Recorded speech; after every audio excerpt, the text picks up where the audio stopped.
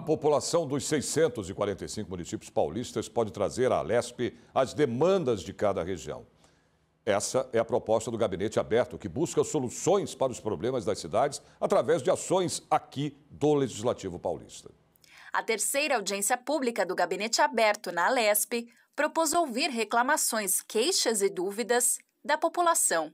Entre as demandas apresentadas estavam pautas sobre saúde, educação e segurança.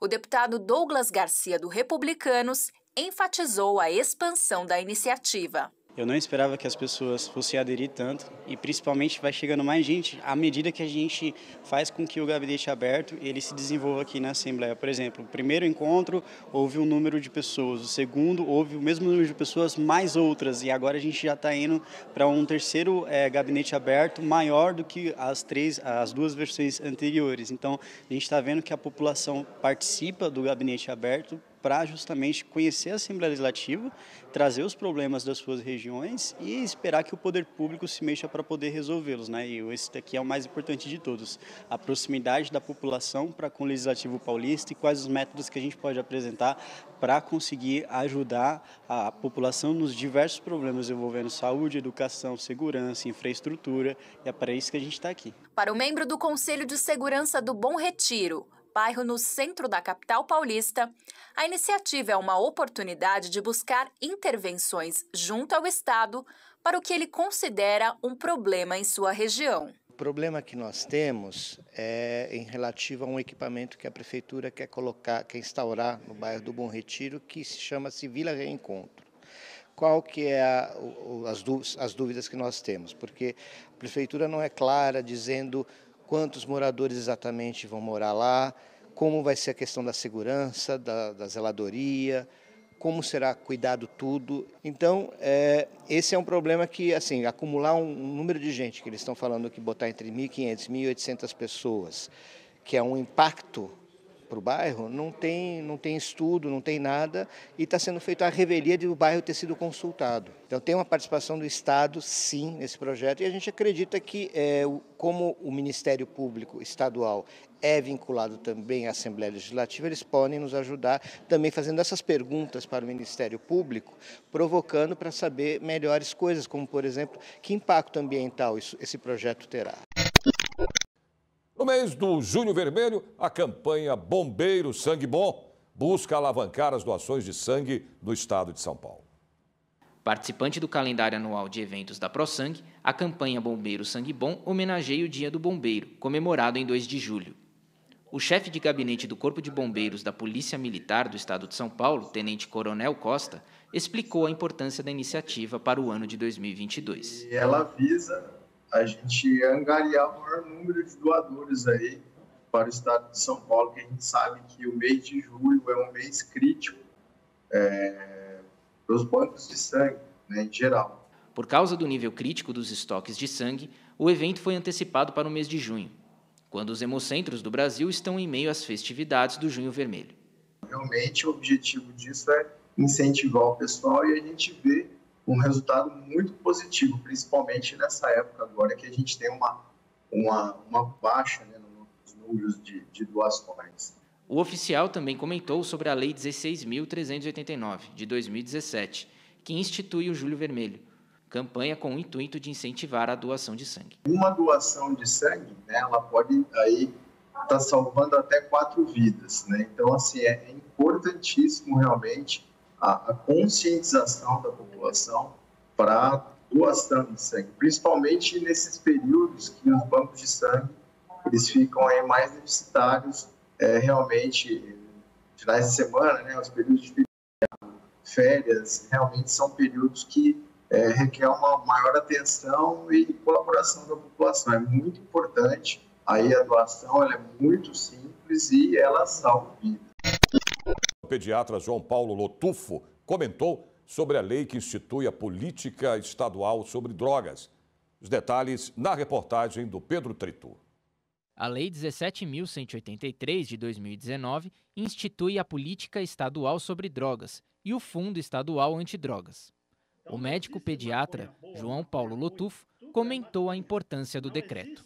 Na verdade, a droga está aí está na rua, está na porta das escolas, está dentro de casa, e a gente tem que trabalhar justamente a prevenção disso tudo. De acordo com o médico, a experimentação de droga acontece cedo demais e que é preciso ter atenção quanto ao tema. Hoje, 10, 11, 12 anos, já temos experimentação de álcool, tabaco, maconha, crack, isso tanto em escolas quanto em escolas privadas. Então, a droga está na porta da nossa casa. E nós temos que trabalhar isso porque a família é a prevenção disso.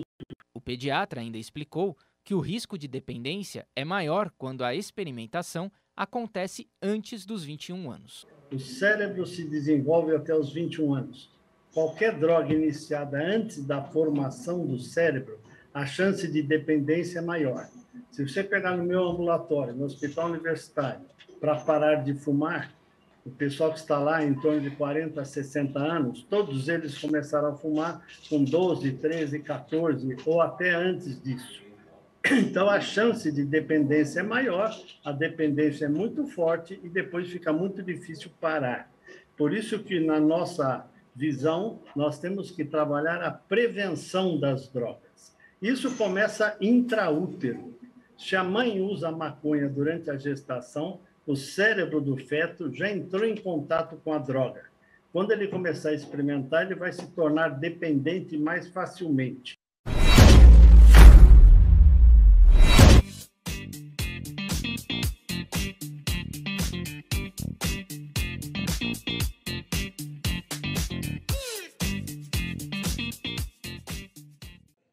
A Câmara aprovou nesta quarta-feira medida provisória que criou um programa de microcrédito para estimular pequenos negócios. Pelo texto, que segue agora para o Senado, o crédito será de até R$ 1.500 para as pessoas físicas e de até R$ 4.500 para o microempreendedor individual. O governo estima que a iniciativa poderá beneficiar cerca de 4 milhões e meio de pessoas. Atender a população de baixa renda que quer empreender, que quer realmente fazer algo por esse país, inovar. E nós conseguimos aumentar de mil para 1.500. No relatório, a gente também muda de 3 mil para 4.500 reais, dando condição daqueles que já buscaram crédito poder buscar, inclusive, mais recursos. Na sessão, os deputados aprovaram também o projeto que dispõe sobre o plantio de espécies nativas para recuperação ou restauração de áreas ecologicamente sensíveis na propriedade rural, e o projeto que diminui o número de votos necessários para mudança na destinação de imóvel em condomínio. Atualmente, o Código Civil exige a aprovação unânime dos condôminos para transformar um imóvel comercial em residencial e vice-versa. Com a alteração, bastarão dois terços dos votos dos condôminos. O projeto dos condomínios segue para a sanção presidencial e o das espécies nativas segue para o Senado.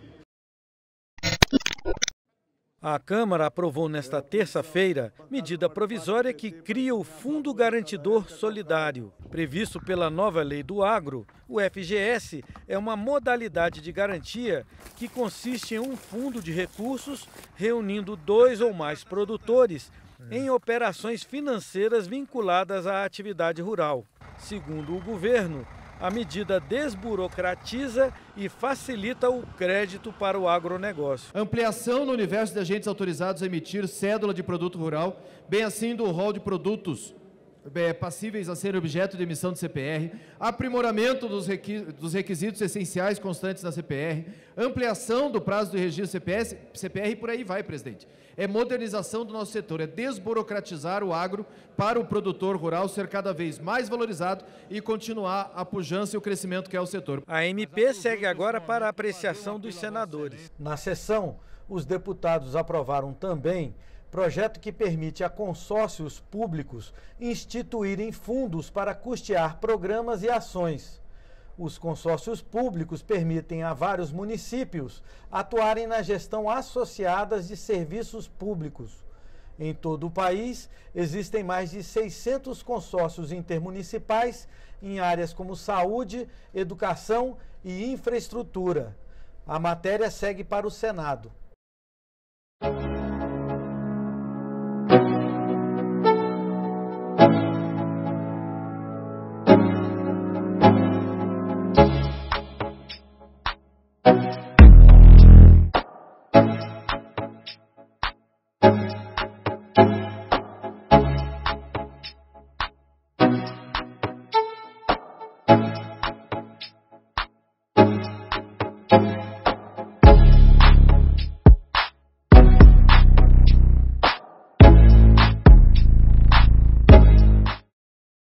Dos critérios para a divisão do Fundo Especial de Financiamento de Campanha, o chamado Fundo Eleitoral, é o número de candidatos eleitos por partido na última eleição. Dos 4 bilhões e 900 milhões de reais previstos no orçamento, 782 milhões serão destinados à União Brasil, que é a fusão do Democratas com o PSL. O PT receberá 503 milhões. O MDB, 363 milhões. O PSD vai receber 349 milhões de reais e o PP, Partido Progressista, ficará com 344 milhões de reais. Essas cinco legendas juntas somam 47,24% dos recursos distribuídos. Os partidos devem destinar 30% desses recursos a candidaturas femininas e também precisam prestar contas de todos os valores gastos com as campanhas à Justiça Eleitoral. Os partidos, a rigor, podem usar livremente, tal qual a sua diretoria executiva quer usar na campanha. Porém, os partidos prestam contas à Justiça Eleitoral terminadas as eleições, que verifica especialmente se o gasto foi real, isso é, se não houve aí desvio desse dinheiro.